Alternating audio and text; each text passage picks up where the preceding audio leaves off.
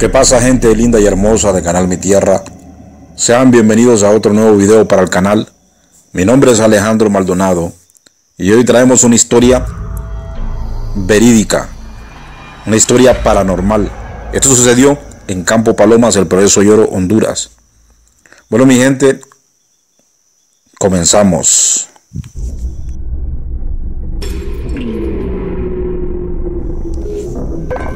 Hace mucho tiempo en la década de los 90.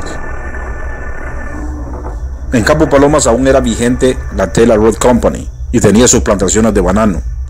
Y como era costumbre, las esposas de los trabajadores en horas de almuerzo o después de almuerzo acostumbraban llevar algo que comer a los trabajadores.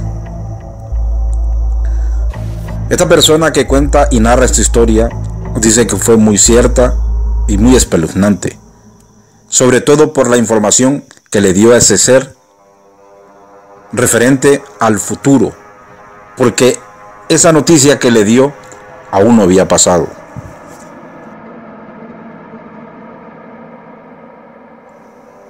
La señora que cuenta y narra esta historia dice que ella salió como cualquier otro día. Eran aproximadamente las 2 de la tarde. Ella iba acompañada con su hija, iba con rumbo al cable 80 donde se encontraba su esposo trabajando.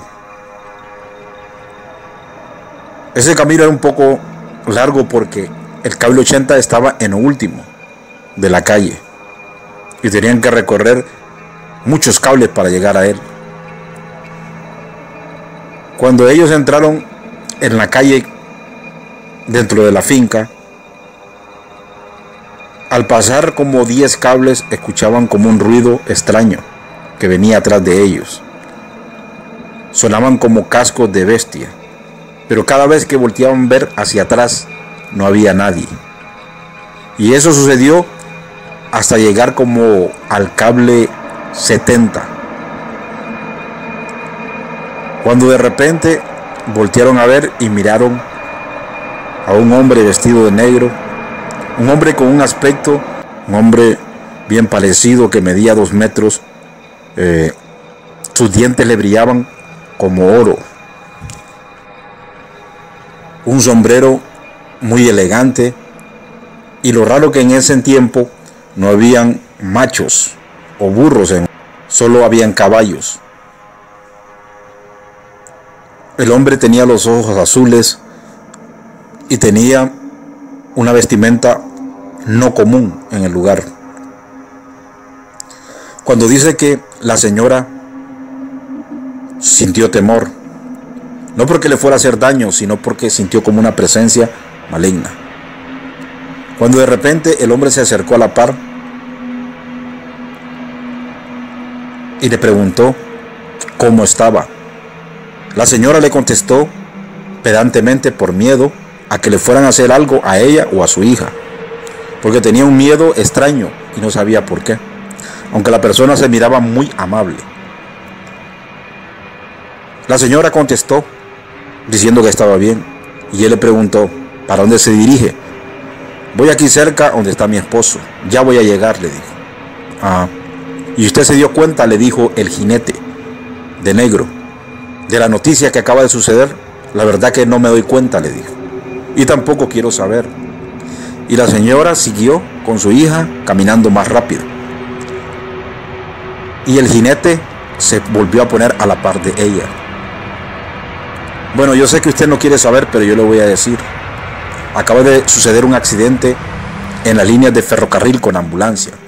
Acaba de morir la señora y un niño que iban en a bordo de la ambulancia, que iban con rumbo al hospital muy grave. La ambulancia se dio vuelta. Ah, sí, está bien, le dijo la señora. Muchas gracias. Cuando de repente la señora avanzó y la niña le jaló la mano y le dijo, mamá, ese hombre es el diablo. Cuando ella le dijo eso, sintió un gran calofrío y temor y se vino un viento, pero muy extraño porque solo parecía que el viento era alrededor de ellos. Cuando de repente, no pasar ni 10 segundos o 20, voltearon a ver hacia atrás y esa persona había desaparecido. Cuando la señora llegó donde su esposo, mejor dicho, le, le contó la historia que le había sucedido. Y él le dijo que era muy extraño, que tuviera cuidado y no volviera a venirse sola porque es muy peligroso. Entonces la señora le dijo que piensa que era un fantasma o un ser que no era de este mundo.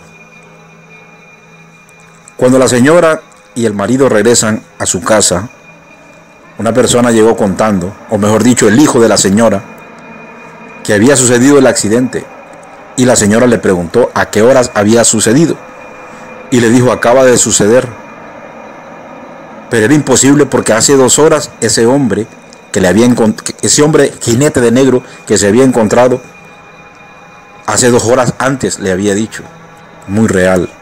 Bueno, mi gente, hasta aquí esta historia. Espero que les haya gustado. Y si fue así, no olviden suscribirse, activar la campanita y darle like. ya saben, mi gente. Hasta la próxima.